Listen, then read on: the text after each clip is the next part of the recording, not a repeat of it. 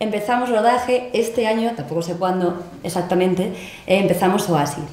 Y es un, bueno, vis a vis el Oasis. ¿Y tú has leído entera? No, no, pero no tengo nada, es que no Ah, tengo mucho de que ya- contar, desgraciadamente, porque como todavía dicen, no... que, como dicen que tiene final cerrado, yo quería saber si sabías cuál es el final cerrado. No, o sea, imagino que se van a centrar, o sea, es un spin-off de Macarena y Zulema, por lo que va a estar centrado en ellas, en su relación amor-odio, que yo creo que esto es lo que el público de alguna forma está demandando. Una de esas dos Ver va a qué morir. pasa en esta relación. Una de esas dos va a morir antes de que acabe esa serie. No, vamos. yo espero que no. No sé, no sé, no, no, no sé, en mi cabeza no hay final para, este, para esta serie. O sea, final en el sentido de la relación de ellas dos. Pero de alguna forma yo creo que se va a hacer para, bueno, para desarrollar esto y ponerle sí un final a la historia. Todos los éxitos.